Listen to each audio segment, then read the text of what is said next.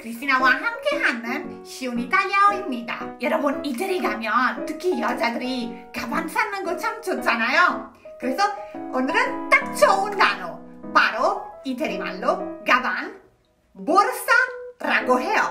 구찌 가서 보르사 프라다 가서 보르사 아르마니 가서 보르사 보르사 가방이에요. 이태리 가면 이쁜 가방 오세요. 꼭 기억하세요. 보르사